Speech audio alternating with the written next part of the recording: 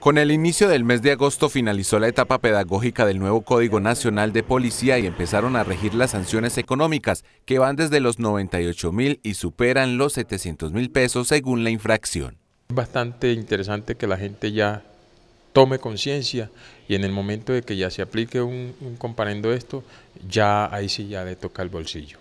La norma que está planteada desde lo pedagógico y busca en principio mejorar el comportamiento social y las nuevas dinámicas de la construcción de ciudadanía también debe acogerse por las personas para promover la tolerancia, el respeto al otro y sus diferencias. Esto no es eh, una cuestión de, castigo, de que se, se impone, no, es una cuestión de cultura ciudadana. Las multas se establecen de la siguiente manera. Tipo 1, 98.362 pesos para infracciones como no recoger las heces de las mascotas, ocupar el espacio público, comercializar o poseer especies de fauna y flora.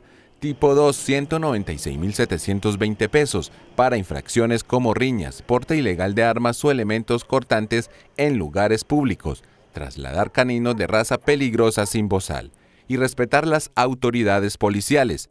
Tipo 3, 393.440 pesos. Sonidos o ruidos en actividades y o fiestas que afecten la convivencia. Vender equipos celulares robados o extraviados. Consumir bebidas alcohólicas, drogas o sustancias prohibidas en centros educativos o lugares públicos.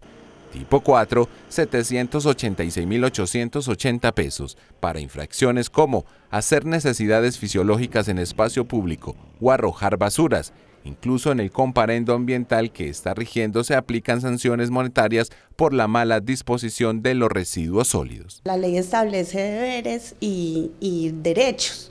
Entonces no solo ustedes como usuarios tienen el derecho a que les recojan sus residuos y si nosotros no enviamos el vehículo en el horario y día establecido, ustedes se van a sentir ofendidos, van a sentir que deben poner una queja.